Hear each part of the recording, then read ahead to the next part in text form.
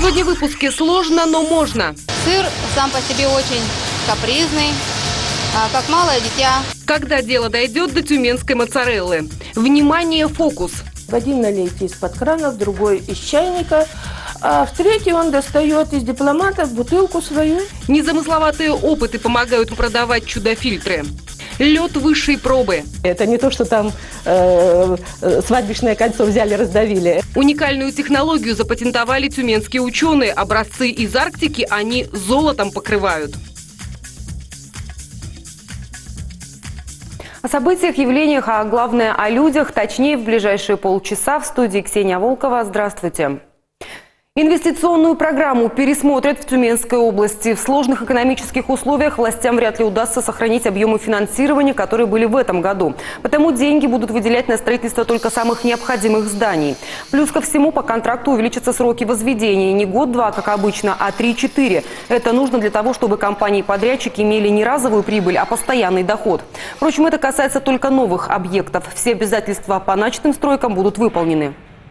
Есть у нас такие статьи, которые мы должны финансировать в объеме 100%. Это заработная плата работников бюджетной сферы, это текущая деятельность э, системы общего образования, то, что находится на региональном уровне, профессионально-технического образования, все э, учреждения системы СПО, НПО должны четко быть, э, должны функционировать и не иметь никаких сбоев. Кроме того, будет полностью финансироваться здравоохранение, несмотря на то, что денег понадобится больше, чем заложено в бюджете. Это связано с возможным повышением цен. В вопросе импортозамещения на сегодняшний день важен не столько ценник, сколько само наличие продукта. Аналоги импортных сыров, полюбившиеся россиянам в одночасье, не появятся на прилавках. Но производство некоторых видов наши предприятия уже начали осваивать. Из Бердюжского района репортаж Карины Закирьяновой. Молочный завод в Бердюжье шел к этому долго. И вот в 2014 году здесь появился сырный цех. Освоили сразу два вида – адыгейский и сулугуни. И если с первым никаких сложностей не было, то с грузинским сыром пришлось повозиться. Сыр сам по себе очень капризный, а, как малое дитя. За ним нужно за каждым, в каждом процессе улавливать момент. Он относится к рассольным сырам, твердым рассольным сырам. Но у него очень хорошее свойство есть плавиться, поэтому вся восточная кухня применяет его в своих рецептах. Сыр – это вообще больная тема для области и страны. Из-за санкций некоторые виды этой продукции теперь в магазине не встретишь. Сейчас э, осуществляется запуск производства э, сыров, э, так называемых мягких, для они предусмотрены для изготовления пиццы и других э, продуктов питания типа моцарелла. Всего же в Тюменской области 12 предприятий изготавливают 500 тонн сыра. Не забывают молочники и о других новинках. В том же Бердюжье начали выпуск творожной массы с цукатами, изюмом и не только. В планах областного правительства и дальше реализовывать крупные инвестпроекты. Например, строительство на базе Илуторовского молочного завода филиала компании «Данон». Согласно данным статистики, эта фирма закупает более 50% молока, производимого в нашем регионе. Тюменская область давно сотрудничает с молочным гигантом гигантов. В частности, совместно с правительством регулируют закупочные цены на молоко. Мы договорились с Тюменской областью э, встретиться регулярном основании и одновременно тоже Данон видит Тюменскую область как стратегический область и мы хотим именно пользоваться этой случаем, чтобы это был ролевой модель для всей России. Так что темпы производства молочных продуктов в следующем году снижать не будут. Карина Закирьянова, Алексей Красных, Тюменское время. А вот какую поддержку получат благотворительные организации Тюмени, об этом не только узнаем из краткого обзора событий.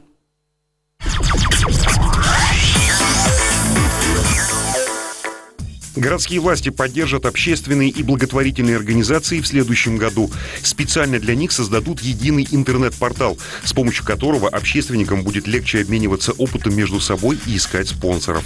Кроме того, э, у нас на следующий год социальная реклама предусмотрена. Мы уже с федеральным ФАСом отработали а, те форматы информации, которые возможно без всяких нарушений закона рассказывать о деятельности таких организаций в формате социальной рекламы. Ну а кроме того, на следующий год запланированы средства для проведения двух обучающих семинаров для представителей общественных организаций. На прежнем уровне остается и финансовая поддержка. В следующем году на муниципальные гранты таким организациям предусмотрели 10 миллионов рублей.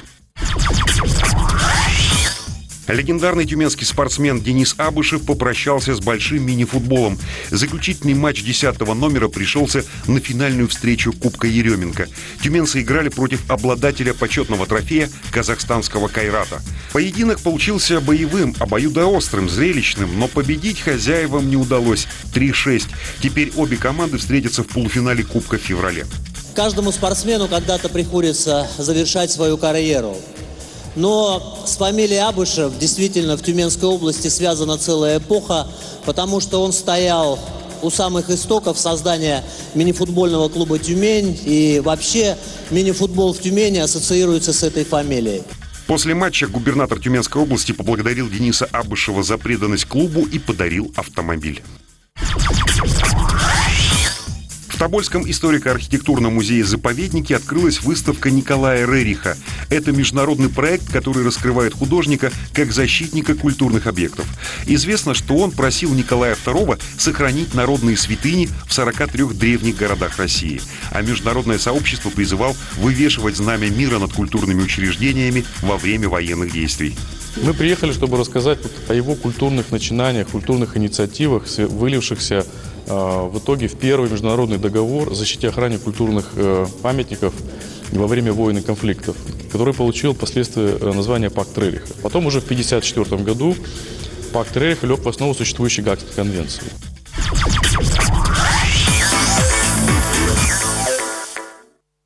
История с продолжением. Мы уже рассказывали в эфире о чудо-фильтрах для очистки воды, которые продают по завышенным ценам. И теперь дело дошло до суда. Год назад жительница Тюмени купила фильтр после незамысловатых опытов, проведенных на ее же кухне. А где теперь правду искать, разбирался Александр Кришаков. Одна подпись через год вылилась в целую пачку документов. Ольга Парницкая до сих пор пытается найти правду во многих инстанциях. В январе прошлого года она впустила в дом незнакомца, который проверял качество воды. Ну, я дала три стакана. В один налейте из-под крана, в другой из чайника, а в третий он достает из дипломата бутылку свою и наливает туда воды. Стал проводить опыты, достал какой-то прибор с тремя штырями, в каждый стакан по штырю, включил, и тут пошла реакция. В моих стаканах, несмотря на то, что через фильтр пропущенная была и скипяченная, там и в осадок пошла, и пена, и коричневая. Мужчина так настойчиво предлагал купить у него фильтр для очистки воды, что женщина сдалась и подписала кредитный договор. В тот же день дорогое оборудование чуть не купила соседка Ольги Александровны, Валентина Сосновских. Спрашиваю, кто? Водоканал мне сказал. Он, значит, достал лист такой, где сфотографирован этот прибор и цены. Я когда увидела, я говорю, вы зря на меня два, два часа он потратил на меня. Это нереально. Там у меня было 68 тысяч, написано 500. Через два дня Парницкая поняла, что выплатить сумму не сможет. Она попыталась вернуть оборудование, но в офис не попала. Код домофона не подошел. Там офисы арендуют, у каждого свой код. 281.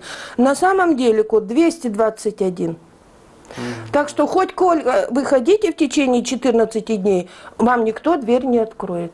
Код пенсионерка узнала позже, когда проводила собственное расследование. Она написала заявление в прокуратуру и полицию, но в возбуждении уголовного дела ей отказали. При рассмотрении материала было принято решение об отказе возбуждения уголовного дела, так как состава преступления мошеннических действий в данной ситуации усмотрено не было. Поэтому все, что касается вот этих фильтров и конкретно данного примера, это уже лежит в гражданско-правовой области и нужно необходимо решать в судебном порядке.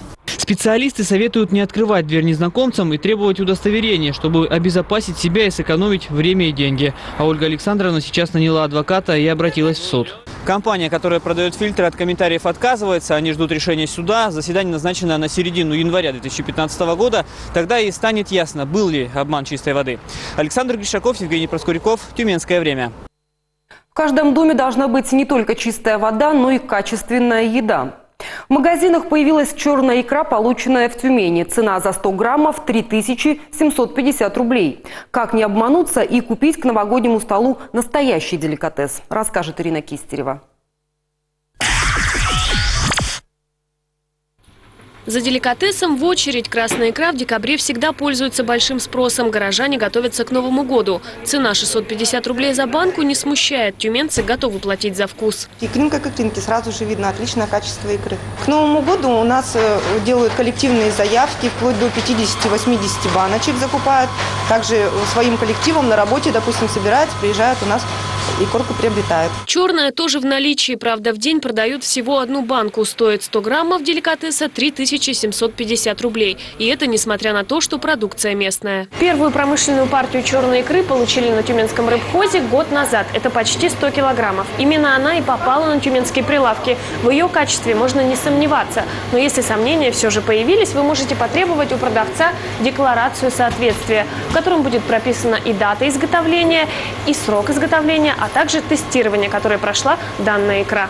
В протоколе испытаний указано, что данная банка прошла тестирование в центре на Минской. Если продукция окажется некачественной, обратиться можно как к производителю, так и в сертификационный испытательный центр. В управлении Роспотребнадзора советуют отдавать предпочтение стеклянной таре, нежели консервации. Определить на глаз качество икры тоже можно. Икра не должна растекаться по, по э, стенкам э, своей тарной упаковки. Вот это первый признак того, что икра не совсем доброкачественная. На тюменские прилавки поступает икра в основном с Дальнего Востока, из Санкт-Петербурга и Ленинградской области. Ставку на отечественных производителей делают и в тюменских ресторанах. Санкции на икру не влияют, потому что икра, как обычно, она а, приходит нас с Дальнего Востока. Это кита, горбуша самая распространенная рыба. Цена на деликатесную продукцию в канун праздников расти не будет, а вот скидки и акции – обычный маркетинговый ход. Под низкой ценой может скрываться просроченная продукция. Обязательно проверяйте дату изготовления и помните, что качественная икра хранится всего 6 месяцев. Ирина Кистерева, Владимир Кондратьев, Тюменское время.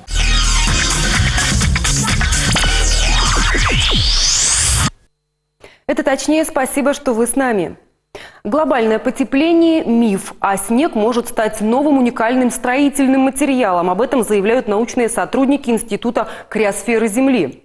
Они запатентовали новый способ изучения образцов из Арктики, где, к слову, залегает 70% полезных ископаемых и микроорганизмов. Как удается найти и сохранить то, что на вес золота, уточнит Людмила Чепурных.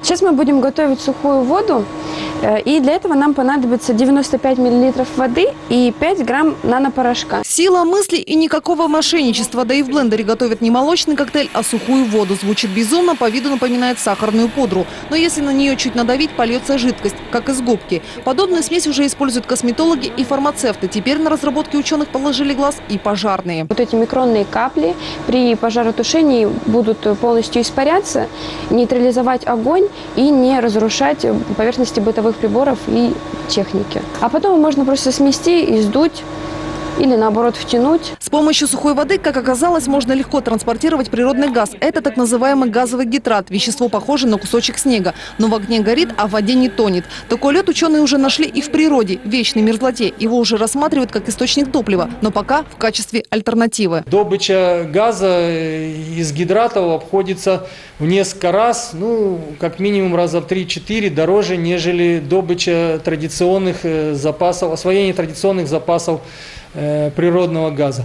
И поэтому все дело в цене. Этому образцу более 200 тысяч лет. Его привезли с Тазовского полуострова. Подобный взяли и в известной Ямальской воронке. Благодаря исследованиям ученые сделали вывод. Это газовый вулкан. Вот только газа в нем не так уж и много. На баллон-то хватит. Этот газ использовать нельзя. На самом деле его очень немножко. Вот вроде бы вот эта вот воронка большая, но на самом деле газов, чтобы его промышленно использовать, вот этот газ, его там совершенно недостаточно. Сейчас увидеть то, что скрыто в вечной мерзлоте, помогает помогают разработки. Часть из них – результат труда тюменских ученых. Совсем недавно даже получили патент на метод, как сохранить в кристаллах льда всю микрофлору, чтобы не исчезла после разморозки. Теперь образцы вечной мерзлоты, что на вес золота, покрывают им же. 999 выше. Это лабораторная, специальная лабораторная так, таблетки. Это не то, что там э, свадебное кольцо взяли, раздавили. Это специальное лабораторное приспособление. И там все в чистом виде. Так, благодаря золотой пленке удалось рассмотреть новую бактерию. Сколько всего и хранят льды Арктики до сих пор неизвестно, ведь вечной мерзлоте записана история в сотнях тысяч лет.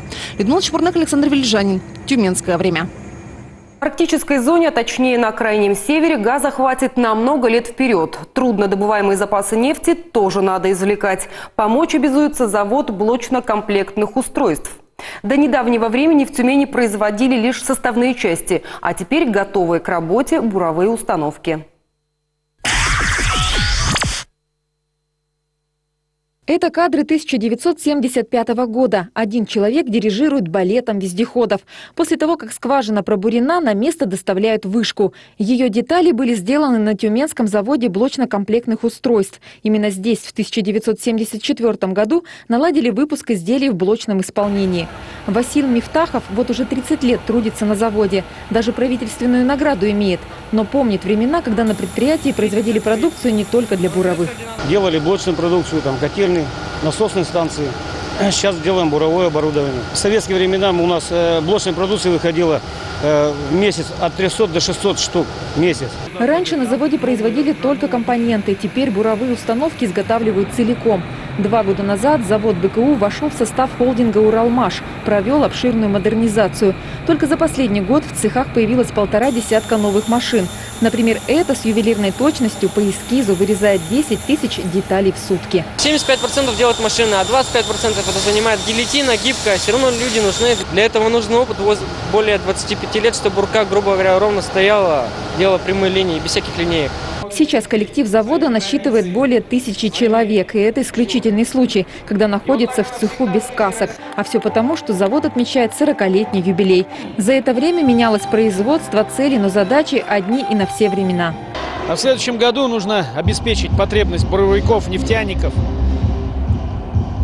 в установках бурового оборудования. И сделать их нужно столько, сколько заказали, в нужные сроки и высокого качества. А все потому, что главные заказчики завода – такие компании, как Роснефть, Газпромнефть, Сургут, Нефтегаз. Наталья Жукова, Людмила Чепурных, Александр Вележанин. Тюменское время. К другим темам в Тюмени более 27 тысяч человек вовлечены в волонтерское движение. В этом году добровольцы обнаружили и пресекли деятельность 86 сайтов, распространявших наркотики. Все дела переданы в прокуратуру и Роскомнадзор. Киберволонтерство – это новое направление, разработанное администрацией для борьбы с порнографической и экстремистской информацией в интернете. Кроме того, городские власти в этом году открыли еще один вид волонтерства – семейное, в связи с тем, что увеличилось количество разводов. 46 мероприятий было проведено в рамках данного направления. Э, например, такого клуба, как «Мечта». Э, клуб э, изучает английский язык для молодых семей и введены тренинги по медиации семейных отношений. Педагоги сегодня проявляют повышенное внимание не только к одаренным или трудным подросткам. Они составляют досье на каждого ученика. Ведь программа одна, а дети разные. И чтобы донести информацию до каждого, учителя предварительно изучают особенности мышления ребенка. Как это происходит, расскажет Юлия Сауляк.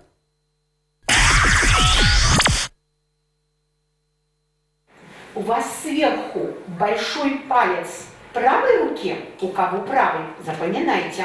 Сложить руки в замок, изобразить позу Наполеона и поаплодировать самим себе. За простыми заданиями кроется сложная педагогическая методика. Проводится диагностика по определению ведущего полушария у ребенка. И, соответственно, каждый ребенок в зависимости от ведущего полушария может выполнять определенный вид работы. Это x минус x первое, деленное на x второе минус x первое. На уроке математики дифференцированное обучение уже в действии. Одним задачки в виде уравнений, другим в виде таблиц и схем. Преподносить информацию с учетом разных типов мышления стараются на каждом школьном предмете. Союзы как, словно, будто.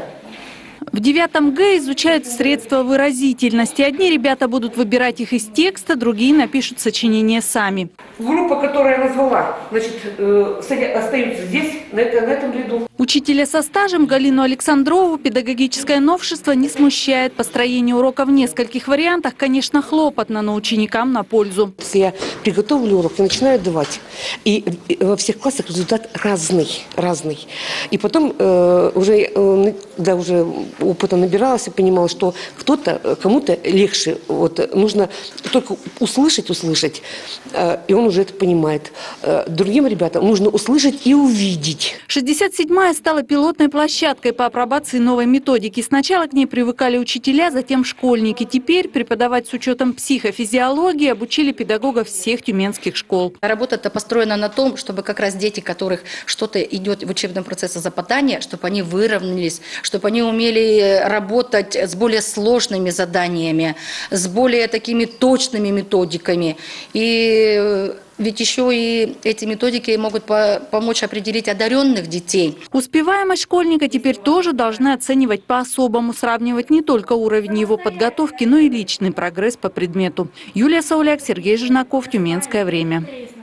Своя методика есть и у педагогов, обучающих братьев наших меньших. В Тюмени выставили оценки лучшим собакам. Перед жюри питомец находится всего несколько минут, и как он себя покажет, зависит от характера, интеллекта и многочасовых тренировок. О чемпионской собачьей жизни материал Анастасии Макеевой.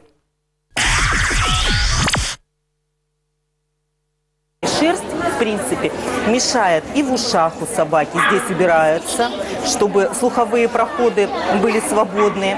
Вычищается горло, тоже собаки, чтобы шерсть не мешала. Помыть, подстричь, груминг перед выставкой словно ритуал, причем не бесплатный от полутора тысяч рублей. За эти деньги умелый мастер подчеркнет достоинство собаки и скроет недостатки.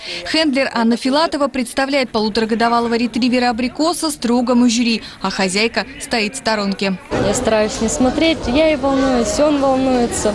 Хлопоты без того хватает ради трех минут на ринге, усиленно работать приходится постоянно. У нас всегда раз в неделю э, дрессура.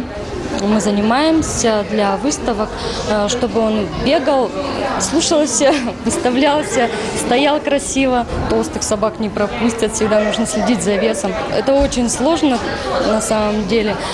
Даже лучше, чем за собой слежу за собакой.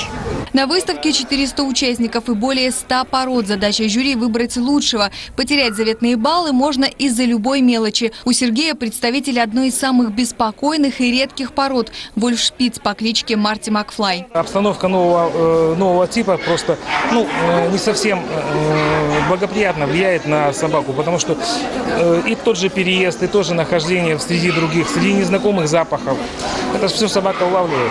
Можно увидеть, как собаки в стойке стоят. Они должны понимать буквально по пальцу, что нужно где остановиться, как поставить ноги. То есть это очень большая работа заводчиков, потому что это очень много требует усилий. То есть прямо с щенячьего возраста собачками ходят и на протяжении, скажем, всей недели, так же как мы на работу с ними приходят в клуб и занимаются. Групповые или индивидуальные занятия зависят от характера питомца и возможностей хозяина. Затраты финансовые и моральные со временем окупаются с лихвой. Собака не может, допустим, скажем, участвовать в разведении без э, выставочных оценок. То есть собака без оценок, она не получает документов на щенков. То есть щенки без документов, то есть так же самое, я всегда всех э, говорю, это точно так же, что человек без паспорта, да, то есть собака никому не докажет, что она породная. Чем выше титулы, тем престижнее питомец, а значит и дороже. Ценник начинается от нескольких тысяч и может доходить до полумиллиона рублей. Но главное помнить, что любовь четвероногого друга бесценна. Анастасия Макеева, Артем Суханов, Тюменское время. И на сегодня у меня все. Следите за событиями, а мы расскажем о них точнее. До свидания.